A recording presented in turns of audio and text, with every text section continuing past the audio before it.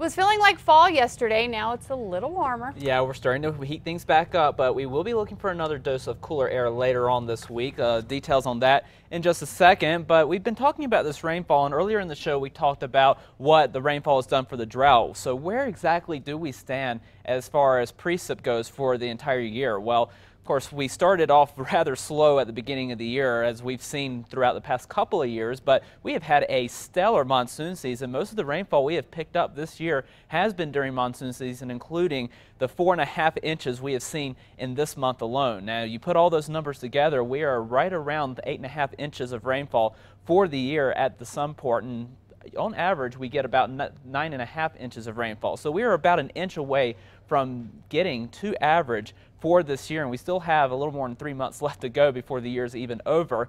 And we still have our fourth wettest month of the year on the way. October usually sees over an inch of rainfall on average, so we could very well do it next month alone. And by the way, the last year we were above average for precip was 2007, so it would certainly be nice if we can end this year at average or maybe just even a little bit above average for the year. Here's a look at Albuquerque right now. We are starting to see more sunshine after all the wet weather we've already seen this month. 67 degrees the current temperature with a calm wind. We are looking at temperatures now still in the 50s for Alamosa, but into the 60s for most other locations, although Los Alamos still sitting at 59 degrees. Down to the south, we are warming up very nicely into the 70s for most locations. Hobbs at 81 degrees. We're at 80 degrees in Deming, and we will continue to warm things up a little bit over the next couple of days with all the sunshine that we will be seeing. But we are watching another storm system that's now starting to make its way onto the Pacific Northwest, and that storm system's actually going to miss us to the north, but it is going to impact us later on in the week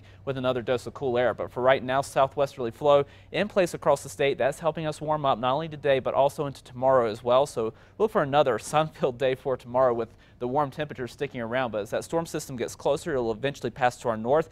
On the back end of it, we'll drop down another backdoor cold front. This cold front is going to be a dry one, so not quite the big front that we saw over the weekend, but we will be looking for another dose of cool air, and you'll see that in your zone by zone forecast starting in southern Colorado with temperatures today into the low to mid 70s with mostly sunny skies. We could grab a couple of storms toward the end of the week and into the weekend with that storm system passing through Colorado but most of New Mexico is going to miss impacts as far as showers and storms go. Northwest seeing sunny skies for today, temperatures into the 70s.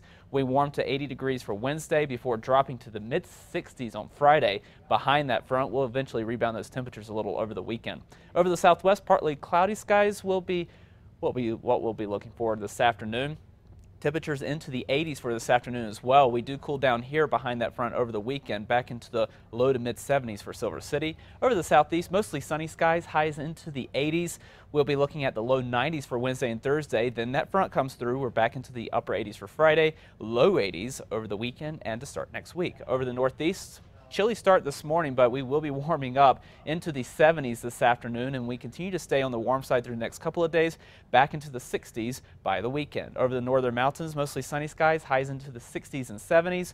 We'll be looking at the 60s once again for Santa Fe toward the end of the week and into the weekend. Over the East Mountains, mostly sunny skies, highs into the mid to upper 70s. In the metro, we'll top out right around 80 degrees, and we'll be close to 80 degrees once again for tomorrow before that front comes through, back into the upper 70s for Thursday, and low 70s, in fact, struggling to reach 70 degrees by Saturday. Oh, yeah. Definitely feeling like fall once again. Okay, thank you, John.